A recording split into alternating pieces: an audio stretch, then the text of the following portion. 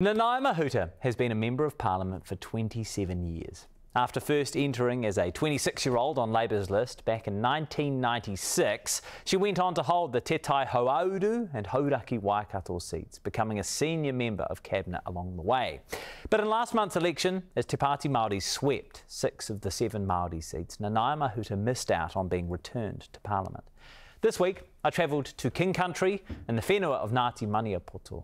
I sat down with Nanaia Mahuta at Te Tākanga Anui, uh, at Te Tōkanga Anui uh, Noho Marae. I, I, asked, I began by asking how she's thinking about the election result.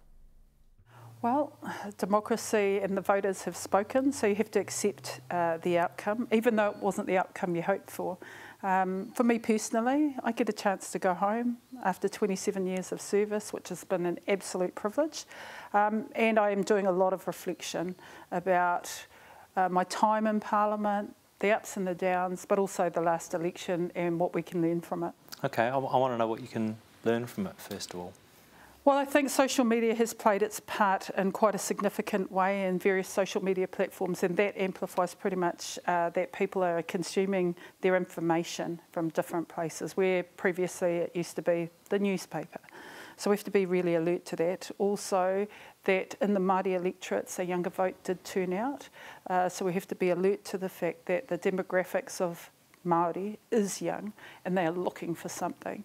And then possibly in a more political sense, uh, what people stand for and what they value has to be very clear and very different, uh, and you can't kind of homogenise um, values. Yeah, you have to accentuate um, where you where you differ, and what people are looking for is hope and vision, and leadership. Uh, so I think all of those things taken together um, give us some salient learning points. Do, do you think on, on that final point there that Labour played to the centre too much?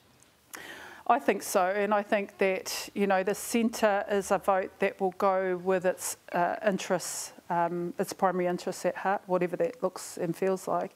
Uh, but what we needed to do is definitely speak to our values and the things that we stand for, and we needed to absolutely assure our core vote uh, that we were continuing with the type of progress that was going to be good for them uh, working people, uh, but also people who had aspiration for the future of the country, and then offer a future, offer a vision for where we wanted to take the country. And so, in a policy sense, what might that alternative have been? Well, I think there was very much a focus on bread and butter issues, which always speaks, for example, to the Māori electorate, but perhaps didn't accentuate it in a way that people felt that we were hearing how people were hurting.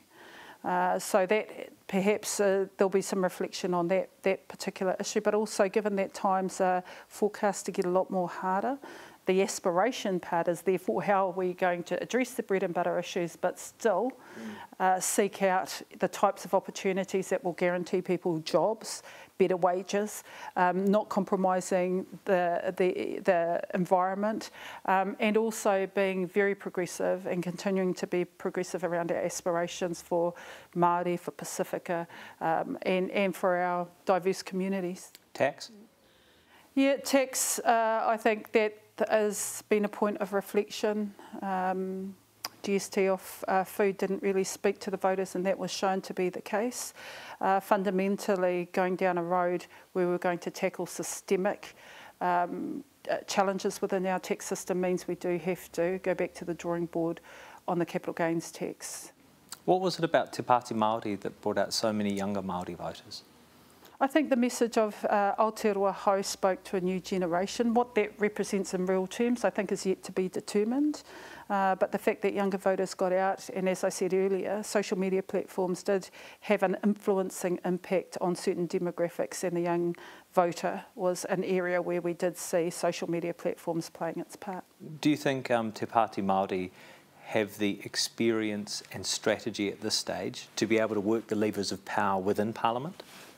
Well, they're sitting on the opposition benches, so not, they don't um, have any access uh, to levers of powers except being a part of a strong opposition. You brought up social media a couple of times. Outside of the ways in which social media was used to connect with young Māori voters, what do you mean specifically by the other influences it had in the election? Are you talking about opposition to Labour? I, I, think that that was the case. I certainly did experience a lot of uh, personal uh, opposition through various social media platforms, um, and also people were consuming their information from you know very diverse channels, uh, and perhaps we underestimated a source of truth that would counter some of that mis or disinformation, and that's something to be alert to uh, going forward. And I think for all political parties mm. and even political commentators and the media, uh, we have to turn our minds to uh, greater integrity in the information that people consume to help them make decisions, especially during election time. Labour was hammered by critics and opposition parties for policies like co-governance and the Māori Health Authority. But at the same time, many Māori voters have supported a party which has an even stronger stance than Labour when it comes to a tiriti-centric Aotearoa. Where does that leave Labour's Māori caucus? Well, Labour's Māori caucus is in a very strong uh, position because yeah. it uh, represents Māori interests across a broad platform of issues with the treaty at its heart. But if we think about the working population and the need to protect workers' rights, uh, then la the Labour Party is still that party in my mind. We're also rebuilding uh, our team, uh, so we've got new talent there. We want to grow that talent and we want to ensure that we are future fit for the fight uh, that will be required uh, to, again, secure the confidence of voters and become government to be able to take our country forward. Do you feel like the Labour Māori caucus made sacrifices or compromises in the interests of the, of the wider team? Well, when you're in politics, every politician knows that compromise and sacrifice is, actually goes hand in hand with politics. So, so was it worth and, it? And uh, I think the incoming government will end that very quickly too. was it worth it then? If, if the Labour's Māori caucus had, had to make compromises within that, that wider caucus, and you look at the result of this election, was it worth it? Well, if you look at the achievements, absolutely, and we wouldn't recoil from that. We have a dedicated day to recognise our first Māori public holiday that acknowledges Mātauranga Māori, and that's Matariki. Supporting Māori wards, establishing the Māori Health Authority, and focusing on equity of health outcomes for Māori, for Pacific, for remote communities and for, you know, and elderly. We've done so much during our time in government, supported Te Reo development and it's, you know, it's beginning to thrive in ways that are shaping the fabric of our nation. Those are all positive gains, and there are many more. You entered Parliament in 1996, so you've been both the baby of the House and the mother of the House. Take me back to 2004. Can you talk us through how you navigated the debate over the foreshore and seabed? Well, it was difficult because Labour was the government at the time and challenging decisions were made uh, by our Attorney General, um, which as a Māori MP in the government we had to defend and contest within um, within our own whare, if you like. So it was a really difficult time. Uh, and then you, uh, you had the kind of the public uh, backlash around iwi versus Kiwi, uh, the Don Brash speech, um, and things were being inflamed racially um, at that particular time. You asked me how I navigated it with some, some challenge.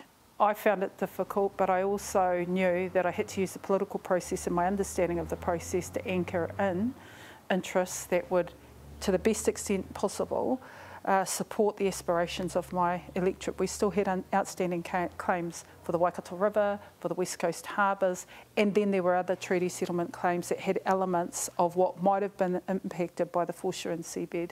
So I used the process, secured some gains, took myself off the list, put that mandate back to the electorate and said, look, I think I've done the best that I can, mm. um, but it's up to you. And they put me back in to keep doing the mahi and I did that. How close did you get to joining Tariana Turia? Not at all. Um, people have since asked me the question too, would I ever join the Māori Party? And that's not really been um, something that I've given thought to. Um, I think fundamentally, having a political party based on identity can be a challenge space. And if we, um, I get it, that having an Indigenous party is a positive signal, signal from a country like New Zealand. I get that. But if we think about the changing diversity of our demographic here in New Zealand, and we have other uh, population groups saying that we want a identity-based political party. We've got to ask ourselves, is that the future we see for New Zealand?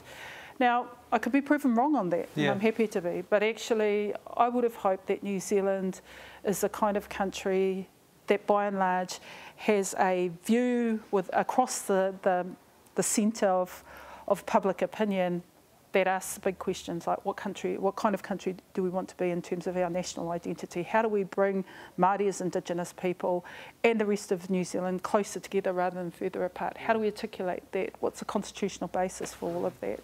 And that's kind of where I think much of the political discourse um, should be focused on so that we don't lose our way and yeah. get pulled by extreme opi opinions. We only have to look around the world and see how extreme opinions have, have dented the fabric of democracy, but also dented that sense of nation building, social inclusion, uh, respect for greater diversity. Uh, uh, this is just a really interesting point, and so I want to make sure that I understand you correctly. You're saying you think a party that is based on identity is potentially problematic. I am saying that it's not something that I've entertained mm. because I know that Māori across New Zealand have very diverse political views.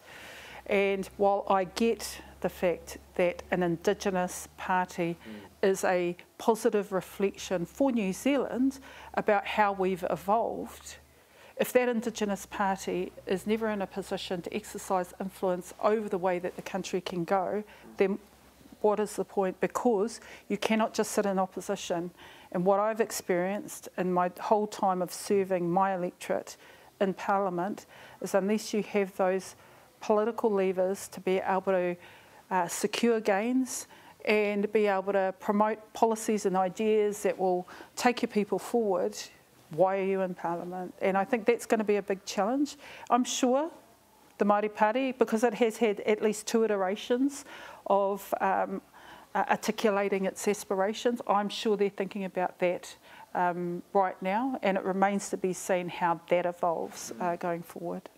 Do you think that Labour's handling of the co-governance provisions in Three Waters contributed in any way to a sense that they were being sneaky about the concept of co-governance? No, look, if you look back at the debate and how it unfolded, the, uh, the local government sector themselves, or a, a portion of the local government sector, mischaracterised the provisions of uh, the water reform that I was promoting because in terms of the professional boards that were being established, it was absolutely skill-based. And so from a governance point of view, skill-based metric being applied to these professional boards for water uh, management and investment. Um, the joint decision-making body that was established, made up of iwi and councillors, basically reflected what many councils already have. Could the messaging have been simpler though? Yes, absolutely. Could I have got more support from a broader range of senior ministers during the time of promoting those forms, abso reforms? Absolutely. You, you didn't feel like you had the support within Cabinet?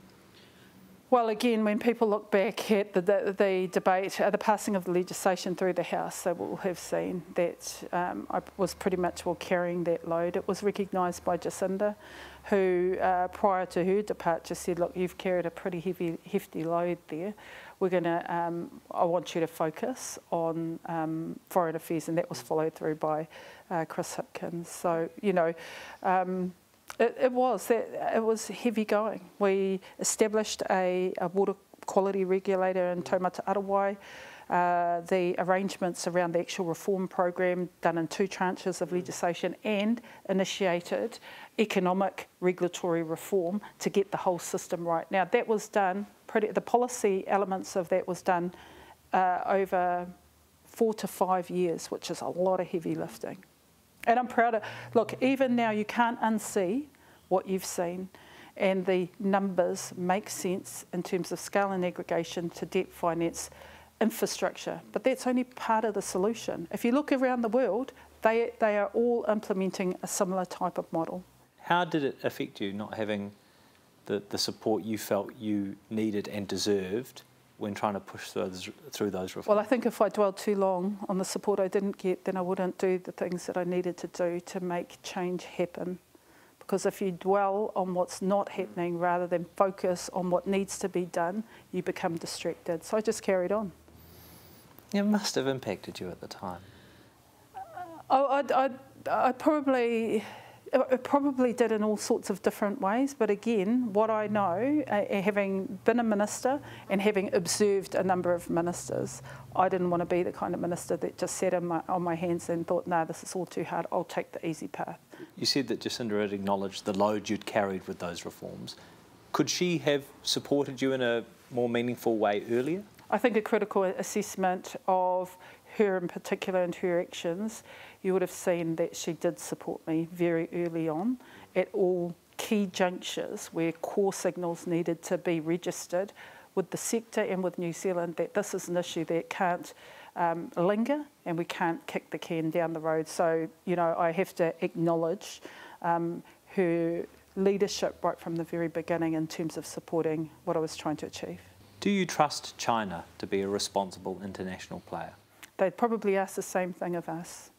And you know, and, and in a very complex and challenging environment, we have to navigate that relationship with care and consideration because there are some big players in our region, uh, not just China, uh, the US, um, uh, that, that require vigilance and ongoing management. And that's why I use the analogy of the dragon and the taniwha, mm.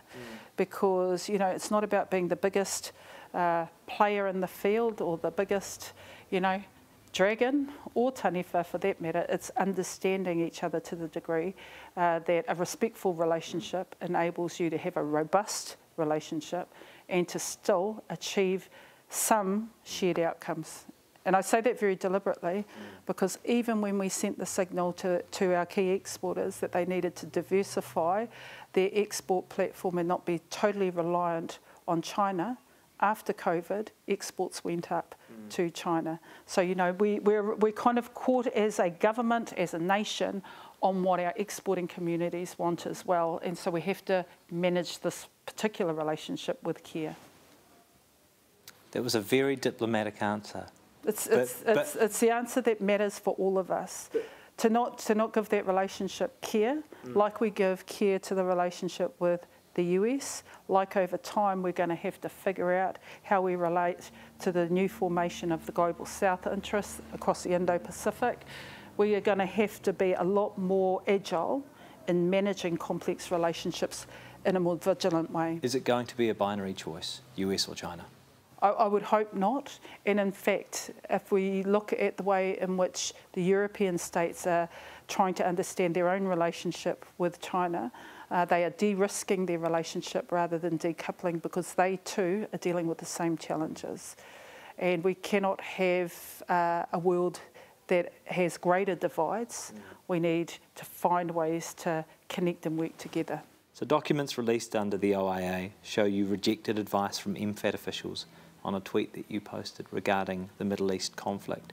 So the advice you received was to send an initial tweet that acknowledged the terror and rocket attacks originated in Gaza, and you rejected that advice instead and talked about conflict between Israel and Gaza. Why was that? Yeah, once I got further information, I quickly clarified that and condemned the actions of Hamas.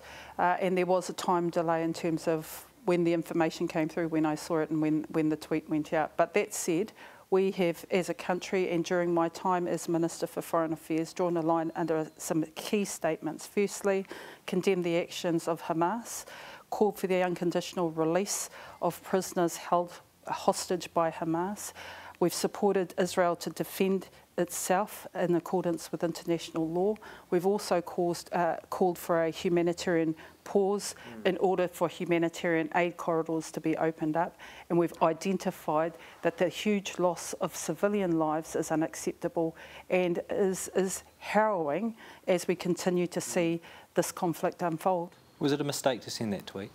Oh, look, I, I can't dwell on mistakes we drew a line as soon as we got more information around condemnation of the actions you, of Hamas. You an... And if you look at the uh, statements of the UN Secretary General, although it's not comparable, he too got uh, polarised for uh, comments that were seen to be too soft, and then again, with he clarified those comments. So if if I get too caught up on, on original tweets based on information I had at the time, but have since clarified, mm. then we're focusing on the wrong thing. Okay, last question on this though.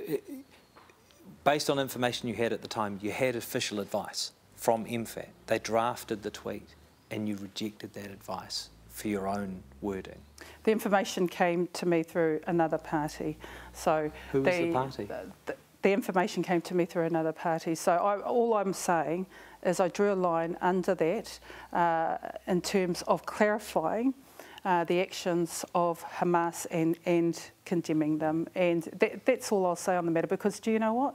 Too many innocent lives are being lost for us to focus on things that actually we should be, which is opening up diplomatic channels and calling for humanitarian pause for aid to flow to Gaza. People are without food, water, energy, or medical supplies. And we also need to ensure that there's an acceleration of talks. Real talks around the two state solution. And that's, that's got to be the absolute focus of any discourse that is happening right at this moment around Israel and Gaza. And we are a part of an international community that can bring pressure to bear on that course of action. Sorry, this is the absolute last question. Was it an official source, this third party that gave you Look, I've, I've made my comment. At the end of the day, I clarified for the purposes of public positioning of New, for New Zealand that we condemned the terrorist actions of Hamas. But it, we, I think if we step back from the tweet or a tweet, we have to ask ourselves can we continue to play a strong and influential role uh, alongside international partners about an end game here?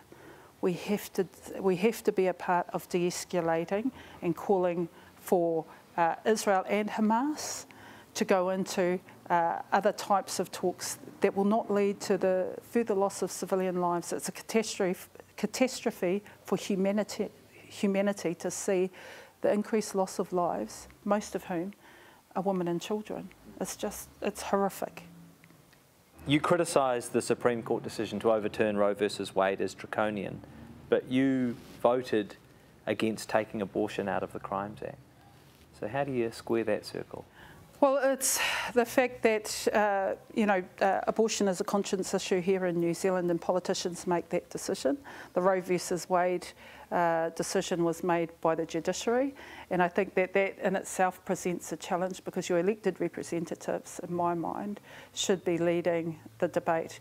And I accept the, the outcome of Parliament when a vote is uh, made. I wouldn't be the type of politician that would try and overturn a decision such as that, especially on a conscience uh, issue. So it was really around the role of the judiciary on an issue like that. That was the draconian element. Yeah, that was a, that was a draconian element. The nature of the decision, right? So would you still support having abortion in the Crimes Act? Um, I think it's a health issue. I think it is a health issue. Uh, you'll see that one of the other votes that I made was to create safe spaces mm. around uh, abortion clinics mm. so that those women who are making decisions would be um, treated um, with respect for the decision that they had made. But if it is a health issue, should it be in the Crimes Act or not? Um,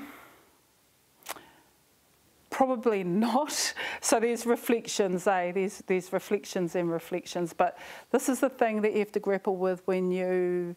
The, the, I think it's abortion and alcohol issues are mm. generally the issues that are considered conscience issues. Would you support New Zealand becoming a republic? Yes. And I've been on the record for a long time saying that that, in my view, is the, the future direction that we should be going. Um, if we can underpin uh, that decision with a strong discourse around our constitutional arrangements, the place of the treaty. What should that be, do you think? How well, would we go about navigating the place of the treaty if we were? Probably with some difficulty, yeah. but it's a far more productive place to have a conversation than a referendum on the treaty. A referendum on the treaty will mean that uh, the majority of New Zealanders potentially might see no future for the treaty in the future of our country, whereas a constitutional conversation around the place of the treaty within the context of a republic is a healthy debate, and we should be opening up those doors. And it's a long conversation, but it could be a focused conversation. So, so what you're saying is that we would use Te Tiriti and the principles of Te Tiriti to inform a constitution under a New Zealand Republic? Absolutely. Absolutely, we would. And, you know, we will have academics, we will have iwi, we will have New Zealanders, we will have various stakeholders who will want to uh, open up uh, a conversation that plausibly enables us to contemplate whether or not the treaty should be a formal part of a written constitution or whether it should remain with some continued moral obligation alongside a formal constitution or some other kind of iteration. But the point is, it's about how do we build a nation based on the foundation that we have inherited, not how do we ignore the foundation that we inherited and then create this kind of sense of nationhood. I don't think that path will ever serve us very well. Uh, I want to finish up with some reflections then, and I know it will be hard when you think back over your parliamentary career to put one thing at the top of the list, but is there a proudest moment? Is there a proudest achievement, something you feel particularly connected to? I think there are so many. Um, it would be really difficult. I don't think I've changed as a person. I think people who knew me when I first started in Parliament and they have known me since, and now that I've uh, left Parliament, they'll say, you know, sure, you matured, gained a lot more information, but essentially your your character as a person remained the same. So you which know, is an I'm, achievement for a period. I don't leave Parliament bitter. I don't leave bitter. Mm. I leave having felt very proud um, about the achievements that I have made, and I've had two beautiful children along the way. Um, and they've seen um, me grow and flourish, and I've seen them grow and flourish during my time in service. But I've also remained kind of um, closely connected to my electorate and the relationships that I've formed over a long period of time, and I'll continue to honour those relationships. But as a person, I haven't changed. I'm not bitter. Is there, is there something at the top of the list when it comes to unfinished business? Is there something you really wish you just had a little bit more time or support to? I think staying staying true to the spirit of why I went into Parliament, and that was during the at the beginning of the treaty settlement process. Uh, it was to ensure that all the treaty settlements across uh, uh, Tainui Waka could um, be completed and the only outstanding big settlement um, of an iwi uh, degree that still needs to be kind of passed through the House is the Hauraki uh, collective of settlements and that's to get to complete their legislation. Uh, I would love to see that happen so that um, the self-determination aspirations of the iwi within Tainui Waka can be achieved and then they can start to look for cooperative ways of working together to strengthen their aspiration for the future within this part of the country. So, When do you think we'll have the first Māori elected Prime Minister? Soon, I hope. Is Soon, there someone in Parliament you think, oh... Probably some... So, probably there are many candidates and, you know, a day's a long time in politics, so is a week. But I, I would hope uh, that young New Zealanders see themselves as a part of our political future and that it doesn't burn them out. I, I'm a bit worried about some of the toxic aspects that might actually burn people out before they even get the opportunity to make a difference. So we have to put a lot of supports in there, I'm pretty sure. But yeah, I don't think we're too far off, Jack. I reckon we might be fairly close to our first elected Māori Prime Minister. And how about you? You don't seem like much of a thumb twiddler. Have you thought about what the next few years might entail? Probably a lot of service to do a lot of things as well. And um, look, I've just said to a lot of whānau, I'm going to just take this time to do me, do my little family, rest, um, unpack a lot of things um, in my mind, but also literally. Um, and then let's see what the new year brings. But I'm, you know, I'm ready for a new chapter. As I say, I'm not bitter. I will watch with interest the progression of the incoming new government, but also how uh, those in opposition continue to do their role um, because they have a responsibility to our democratic process to do their well, role really well. And then, for the most part, doing mum stuff as well. I hope you can enjoy that. Oh, I will, I yeah. will.